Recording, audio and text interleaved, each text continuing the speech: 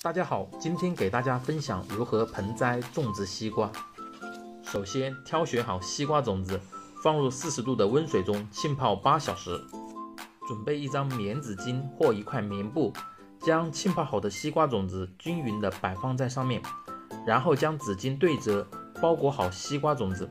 用喷壶将包裹好西瓜种子的纸巾两面浇透水。找一个可以密封的瓶子，将包裹好并浇透水的西瓜种子放入其中，盖好盖子。如气温比较低时，可以用暖手袋同装好瓶的西瓜种子放入棉被中加温催芽。大约四十八小时，我们就可以揭开瓶子，拿出里面的西瓜种子。这时我们可以发现，大部分的西瓜种子已催芽完成。如未催芽完成的，可以继续放置催芽。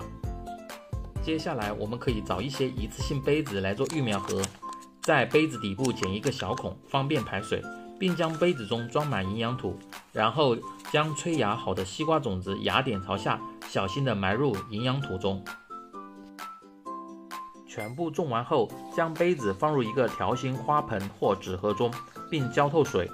这样是为了晚上气温低于十五摄氏度时，可以在花盆上盖上一层薄膜，方便保温保湿。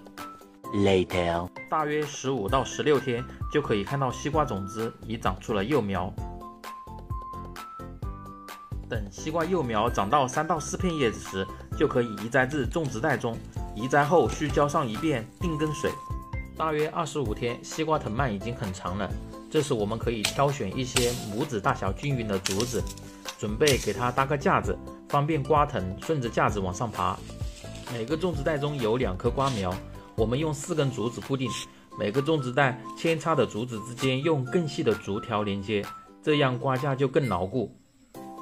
种植袋口向上三十厘米，搭好第一层竹条后，再向上五十厘米搭第二层竹条，剪去多余的扎带，瓜架就搭好了。大约四十八天就可以看到小西瓜了。这时我们需要给西瓜剪枝，这样有利于它的生长和避免多余养分的消耗。六十五至七十天，西瓜就成熟了，我们就可以吃上自己种上的西瓜了。我就分享到这，谢谢大家。